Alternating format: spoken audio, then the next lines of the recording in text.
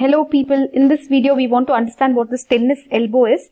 So basically uh, elbow joint you know where it is right. So here's your elbow joint. So there is some problem here right. So that is what is the topic tennis elbow. It happens in tennis players and a lot of other people not just tennis players. It is also uh, the technical term is lateral epicondylitis. What is lateral epicondylitis? So where is your epicondyle of your humerus? So here you have the lateral epicondyle, isn't it? So um, you have the humerus. For the humerus, here you have the lateral epicondyle. Here you have the medial epicondyle, isn't it? So we are concerned with what here? Lateral epicondyle, right? So if this is your uh, lateral view of your hand, so here you can see the lateral epicondyle. To that some extensor tendon is attached. So that tendon is injured. Tendon is injured. Tendon is affected. Okay. So basically this is an affection of the soft tissue. So what has happened here? There is pain and tenderness at the lateral epicondyle. Where is the pain and the tenderness people? It is in the lateral epicondyle. What is there in the lateral epicondyle? Pain and tenderness. Pain means what? The patient will come with you with pain. Okay, they will say they have pain there. When you put pressure there or you touch there, there will be pain. That is tenderness.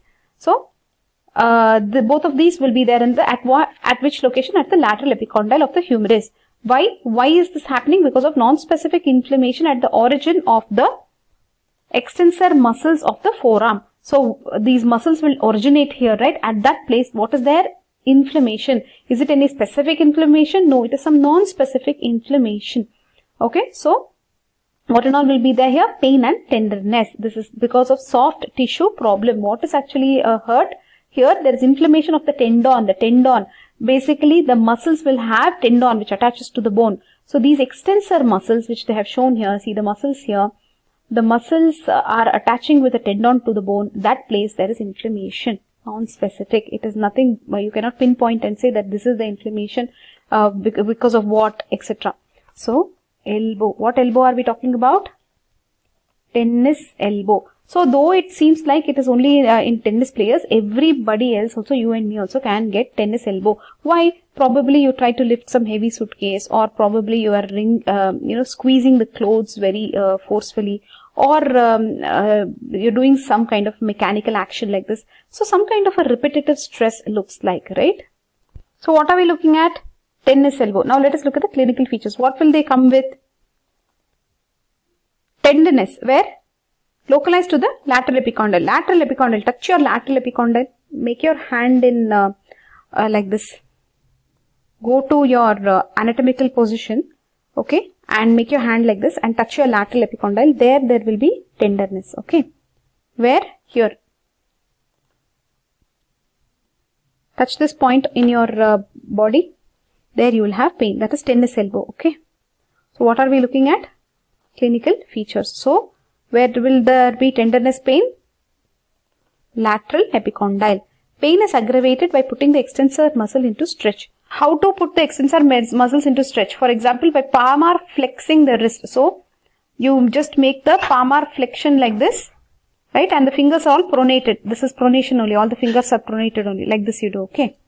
This is how you will put it in um, uh, this, uh, you will put the extensor tendons in a stretch, okay. So this is where you will have more pain. Pain is aggravated by putting this, okay. Elbow movements are normal. So the movements are not restricted. So this is something you should understand. The movements are not restricted and the x-ray does not reveal any abnormality. Why doesn't it reveal any abnormality? Because there is no fracture or anything. It's a soft tissue injury and uh, x-ray is not going to tell you about soft tissue, isn't it? So this much you have understood. Right? So only three points we read here. No, four points. There is tenderness, lateral epicondyle. Pain is aggravated by putting the hand in this um, uh, position where you have done palmar flexion. Okay.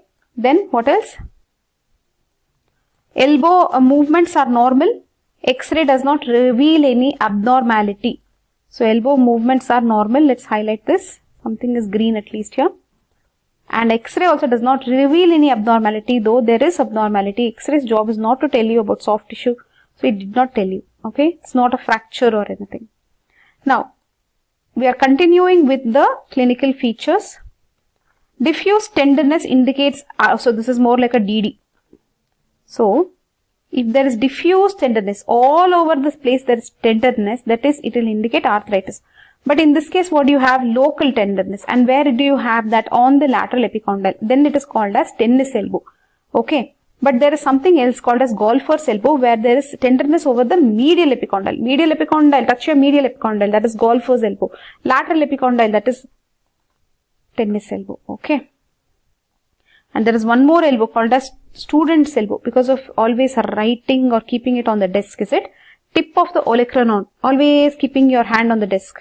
So this is actually student's elbow is something to do with um, bursa. So it's a bursitis, okay.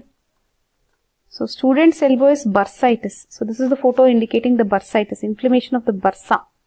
But here we are not talking about that, okay. These are the only DDs. So diffuse means so it will be arthritis, local over the, the lateral epicondyle will be tennis elbow. Then you have something called as the golfer's elbow, which is a DD. Remember, student's elbow or olecranon bursitis. Okay, both are same. So these are the DDs. This one is not a DD. This is the actual thing. Local tenderness over lateral epicondyle is tennis elbow. This is what we want to see. But if there's diffuse tenderness, then it indicates arthritis. If there is uh, tenderness over the medial epicondyle, it is golfer's elbow. If it is over the olecranon process, then it is olecranon bursitis or student's elbow. So now we have some tests here. How to investigate. Or this is more like a sign okay? So you have to write two signs here in the exam. Wringing wringing test. So this will make it as a test. Wringing test and Cozen's test. So wringing test. See wringing test is uh, this just ask the patient to like to act like he's bringing a towel okay and where will he feel the pain yes you told correctly lateral epicondyle that will be tennis elbow then you have Cozen's test Cozen's test what will you do when the forearm pronated, okay, ask the patient to make a fist. Let's check this. The forearm is pronated and he's making a fist. The examiner is now doing something. What is he doing? The examiner now holds the fist and the palmar flexes the wrist. The pain will be at the lateral epicondyle. He will hold this fist and palmar flex the wrist. I think what the examiner is trying to do is just Palmar flex the wrist. Flex the wrist. Palmar flex the wrist is something like this, right? But here it looks like opposite. This is yet another image showing that. So basically they are palmar flexing and the pain will be at the lateral epicondyle. This is Cozen's test. Cozen's test is for what? Tennis elbow. Okay. Now look at this. Um, how will you treat? Basically you will give analgesics, anti-inflammatory drugs. Analgesics means you can give any painkiller basically, uh, non-steroidal anti-inflammatory drugs you can give that is um, same NSAIDs, analgesics, anti-inflammatory, that combination you will get. You can, uh, if this the relief is not there after a week, remember you will give the treatment for a week. If there's no response, you can give an injection of hydrocortisone, okay, at the point of maximum tenderness. Uh, you can also, instead of hydrocortisone, they're talking about methylprednisolone, okay. Then,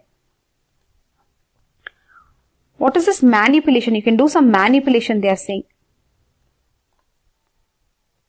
effective in tennis elbow. You can do some manipulation. And even in low backache, uh, tennis elbow and all, uh, this manipulation is of some relief. Okay. So basically now let's take a recap of this topic that we have looked at in this video. Tennis elbow. Tennis elbow, uh, you can, uh, basically it's a problem at the elbow joint, isn't it? So it's a, um, it's also called as lateral epicondylitis. That is the lateral epicondyle of the humerus, right? That is where the pain and tenderness will be. So uh, this is an uh, affection of the soft tissue. Here no uh, bone etc. involvement is because of the soft tissue. There is pain and tenderness at the lateral epicondyle. Why? Because there is non-specific inflammation of the extensor muscles of the forearm, especially where the these muscles originate, that tendon. This is an extra articular lesion, nothing to do with the joint, remember uh, this is not only seen in tennis players, it's also seen in people who, uh, you know, uh, wriggle the clothes, that is, squeeze the clothes, or uh, people who are mechanically using their hand or lifting suitcase, etc. In any of these people, it can happen. Okay. Then coming to the clinical features, there is tenderness on this lateral epicondyle. We already told you tenderness of lateral epicondyle. Then uh, the pain is aggravated when you put the hand in this kind of play, uh, situation. That is palmar flex okay? Where the fingers at the fore uh, with the forearm are pronated okay? This is palmar flexion of the wrist. So at this place what will happen? The pain is aggravated at this lateral epicondyle because you're putting the extensor tendons at a stretch. The elbow movements are normal remember?